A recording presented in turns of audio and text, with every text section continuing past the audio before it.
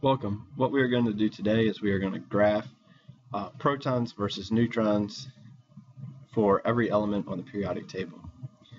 We'll navigate to the website provided, highlight the table. Down to 175, Command C, copy it, go into our Excel workbook,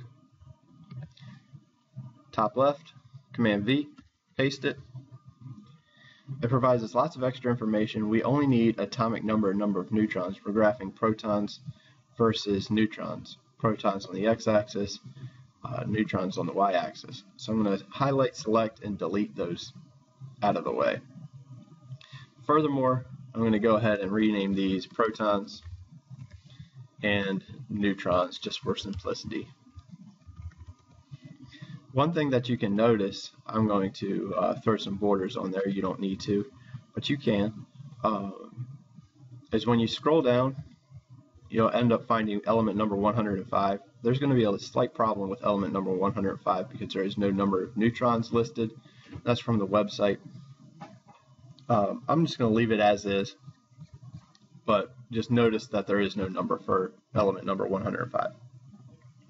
Now we need to graph it the way we'll graph it, uh, for me, I need to click on Insert, Charts, and we're looking for a scatter graph, mark scatter. Select a data point. As typical with Excel, it'll automatically input data. Um, we need to change that. Remove whatever it automatically inputs, and then we're going to go ahead and add in our own information. Title this graph atomic structure. The x values, selecting. I'm going to highlight all the number of protons all the way up to element number 118. My y values in this case, I want as my number of neutrons. It doesn't matter which direction you highlight them, just highlight them. Once they're in, you should be able to click OK. OK. Now I have my graph. I'm going to start formatting it, but first I'm going to move it into its own sheet.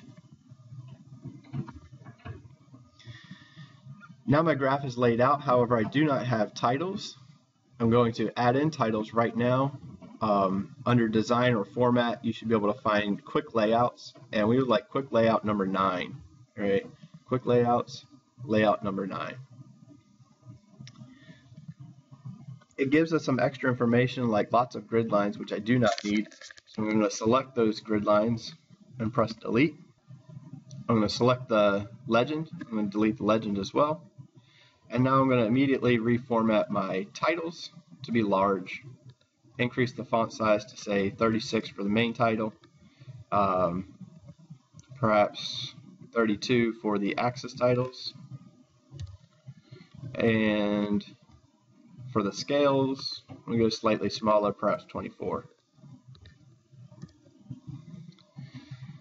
In addition, I'm going to reduce the quantity of numbers displayed here. Two finger click, format axis. Change your minimum to be zero. Maximum can stay at 200. And then my major unit, I'm going to also change to be about 50. Forgot to change the size of my trend line trend line is present, but the equation is barely legible. So I'm going to increase the font of my trend line to 24 as well.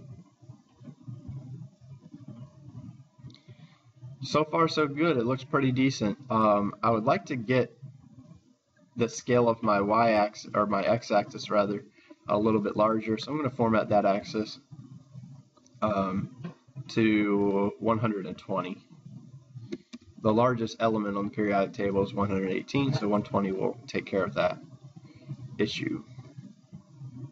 And then I will change my axis to every, mark every 40 units. Looking pretty good. We could, of course, insert some coloring in there if we would like, but this is um, basically what we needed to do. Our number of neutrons is here on the y-axis, and protons is here on the x-axis. If you notice, a little bit after 80, we have some interesting stuff going on. We have relatively consistent trend with slope of the graph, and then after about 90 in that ballpark, uh, interesting things start happening with uh, number of protons and neutrons. And we'll talk about that and how that affects stability of those atoms. That's all for now. Hopefully that was useful.